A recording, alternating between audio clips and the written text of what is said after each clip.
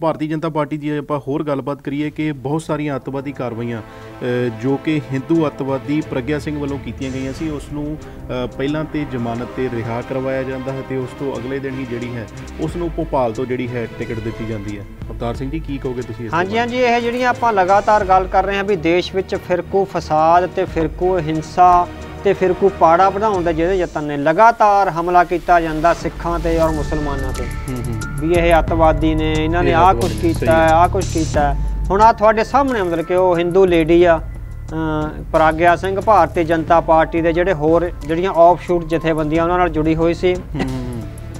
Malegaon bomb blast Ajmer bomb blast ਤੇ even indirectly ਕਿਤੇ ਨਾ ਕਿਤੇ ਸਮਝੌਤਾ ਐਕਸਪ੍ਰੈਸ ਨਾਲ ਵੀ ਜਿਹੜਾ ਸੀਗਾ ਉਹਦੇ ਵਿੱਚ ਇਨਵੋਲਡ ਨਹੀਂ ਸੀ ਪਰ ਉਹ ਉਹ ਟੀਮ ਪੂਰੀ ਜਿਹੜੀ ਸੀਗੀ ਉਹ ਟੀਮ ਨੇ ਬੰਬ ਧਮਾਕੇ ਕੀਤੇ ਆ ਵੱਖ-ਵੱਖ ਥਾਵਾਂ ਤੇ ਜਾ ਕੇ।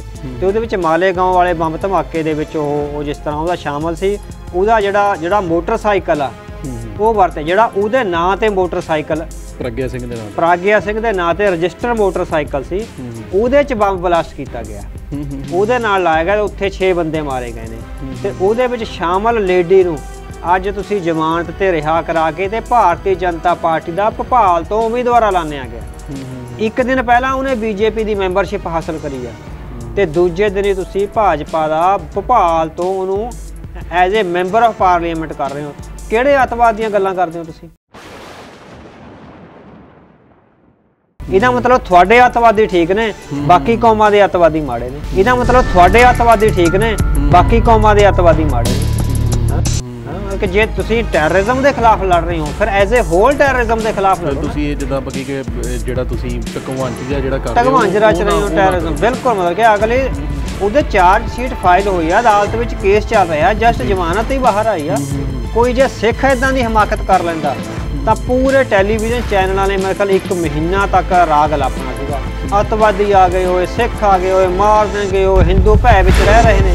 ਹੁਣ ਹੁਣ ਕਿ- ਕਿਹੜੇ ਕਿਹੜੇ ਕਿਸੇ ਵੀ ਟੀਵੀ ਚੈਨਲ ਤੇ ਗੱਲ ਨਹੀਂ। ਇੰਨਾ ਵੱਡਾ ਦੁਖਾਂਤ ਵਾਪਰਿਆ ਡੈਮੋਕ੍ਰੇਸੀ ਦੇ ਮਾਮਲੇ 'ਚ ਆਪਾਂ ਕਹਿ ਸਕਦੇ ਹਾਂ। ਵੇਖੋ ਜਿਹੜੀ ਲੇਡੀ ਜਿਹੜੀ ਬੰਬ ਧਮਾਕਿਆਂ 'ਚ ਸ਼ਾਮਲ ਰਹੀ ਆ ਜਿਹਦੀਆਂ ਹਦਾਇਤਾਂ ਦੇ ਬੰਬ ਧਮਾਕੇ ਹੋਏ ਨੇ ਜਿਹਦਾ ਮੋਟਰਸਾਈਕਲ ਜਿੱਦਾਂ ਉਹਦੇ 'ਚ ਵਰਤਿਆ ਗਿਆ।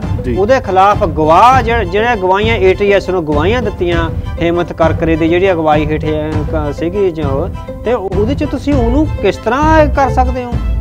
ਉਹਨੂੰ ਮੈਂਬਰ ਆਫ ਪਾਰਲੀਮੈਂਟ ਲਈ ਮਤਲਬ ਤੁਸੀਂ ਜੇ ਉਹ ਕੱਲ ਨੂੰ ਜਿੱਤ ਜਾਂਦੀ ਹੈ ਤੇ ਉਹ ਭਾਰਤ ਦੀ ਪਾਰਲੀਮੈਂਟ ਵਿੱਚ ਜਾ ਕੇ ਬੈਠੂ ਆ ਕਿਹੜਾ ਜੱਜ ਉਹਨੂੰ ਸਜ਼ਾ ਦੇ ਦੂਗਾ ਮੈਨੂੰ ਦੱਸੋ? ਉਹਨੇ ਮੈਂਬਰ ਆਫ ਪਾਰਲੀਮੈਂਟ ਬਣ ਜਾਣਾ ਕੱਲ ਨੂੰ। ਕਿਹੜੇ ਜੱਜ ਦੀ ਹਿੰਮਤ ਆ ਵੀ ਉਹਨੂੰ ਸਜ਼ਾ ਦੇ ਦੂਗਾ? ਮਤਲਬ ਕਿ ਇਨਡਾਇਰੈਕਟਲੀ ਤੁਸੀਂ ਕੋਰਸ ਆਫ ਜਸਟਿਸ ਦੇ ਰਾਹ ਵਿੱਚ ਢਿੱਕੇ ਪਾ ਰਹੇ ਹੋ।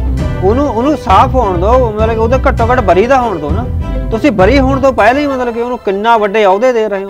ਕਿ ਫਿਰ ਕਿਹੜਾ ਟੈਰਰਿਜ਼ਮ ਤੇ ਕਿਹੜੀ ਐਂਟਰ ਟੈਰਰਿਜ਼ਮ ਜਿਹੜੀ ਜਿਹੜੀ ਜੰਗ ਤੁਸੀਂ ਲੜ ਰਹੇ ਹੋ?